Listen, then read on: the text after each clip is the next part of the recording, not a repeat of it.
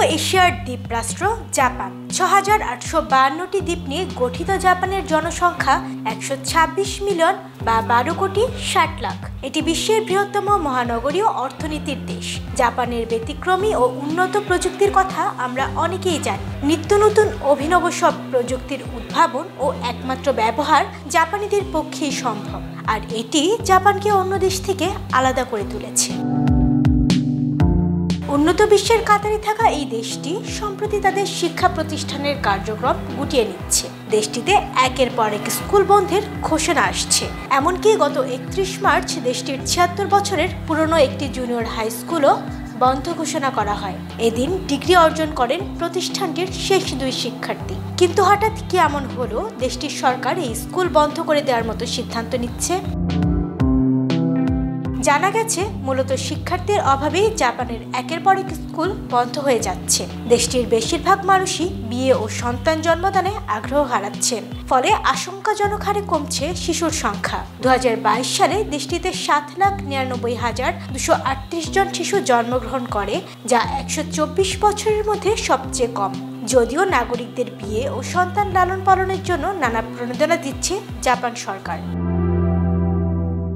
সরকারি তথ্য মতে, প্রতি বছর শিক্ষার্থীর অভাবে জাপানে গড়ে প্রায় চারশো পঞ্চাশটি স্কুল বন্ধ হচ্ছে। দু থেকে দুহাজার বিশ সাল পর্যন্ত পুরোপুরি বন্ধ হয়ে গেছে অন্তত ন হাজার শিক্ষা প্রতিষ্ঠান জীবনযাত্রার ক্রমবর্ধমান ব্যয়ের কারণে বিয়ে করতে ও সন্তান জন্ম দিতে আগ্রহ হারাচ্ছে জাপানিরা। এতে ব্যাপক হারে কমছে দেশটির জন্মহার। একদিকে কম জন্মহার, অন্যদিকে বাড়ছে প্রবীণ জনসংখ্যা। ফলে হুমকিতে দেশটির নতুন প্রজন্মের অস্তিত্ব। বিশ্বে বর্তমানে সবচেয়ে বেশি বয়স্ক মানুষ রয়েছেন জাপানে। আর কর্ম অক্ষম এসব বয়স্ক মানুষদের সেবায় এখন দেশটিকে আরও বেশি অর্থ খরচ করতে হচ্ছে, যা জাপানকে বিশ্বের সবচেয়ে ঋণগ্রস্ত দেশে পরিণত করছে। সম্প্রতি জাপান টাইমস এমন এক প্রতিবেদন প্রকাশ করেছে। এমন উদ্ভূত পরিস্থিতি ভাবাচ্ছে জাপান সরকারকেও। শিশুদের লালন পালন ও শিক্ষার বাজেট দ্বিগুণ করার পরও পরিস্থিতির খুব একটা উন্নতি হচ্ছে না। ফলে বিয়ে ও সন্তান জন্মদানে উৎসাহী করতে তরুণ প্রজন্মকে বেতন ভাতা দ্বিগুণ করা সহ বেশ কিছু সুযোগ সুবিধা দিতে যাচ্ছে দেশটির সরকার, এমনটি আপাতত জানা গেছে।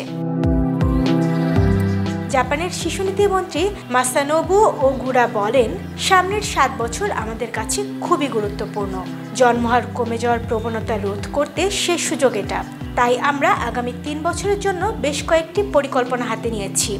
সন্তান লালন পালনের ভর্তুকি, শিশুদের শিক্ষা খাতে সহায়তা, তরুণ প্রজন্মের বেতন বৃদ্ধি এবং তাদের সন্তান এবং তাদের বিয়ে ও সন্তান ধারণের জন্য প্রণোদনা বাড়াতে উদ্যোগ নেওয়া হচ্ছে। যদি অবস্থার পরিবর্তন না হয়, তাহলে দু সালের পর জন্মহার বর্তমানের চেয়ে আরও দ্বিগুণ হারে হ্রাস পাবে। দেশটিতে করদাতার সংখ্যা কমবে, যার কারণে বিশ্বের তৃতীয় বৃহৎ অর্থনীতির দেশটিকে সামনে অনেক ঝামেলা পোহাতে হবে। তারিন ফাইমা বিবিএস বাংলা।